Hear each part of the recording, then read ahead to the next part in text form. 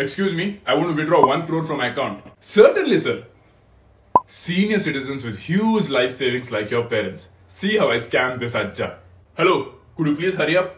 Sir, what if I told you that you could invest in this revolutionary product which has both insurance and stock market like returns? It's called ULIP, sir. Are you mad? The effective expense ratio of ULIPs for senior citizens is about 2.5 to 3 percentage, whereas for mutual funds is only 1 to 2 percentage. What do you mean? So ULIPs have something called as a mortality charge. And for a senior citizen like me, it is 10 times that of the mortality charge for a 20 year old. And on top of that, you charge commissions also. I will lose lakhs of rupees in investing in a ULIP as compared to investing in a mutual fund. Hey, how do you know all of this, dude? I thought you were some kind of a loser boomer. बात तो खत्म करने दो यार.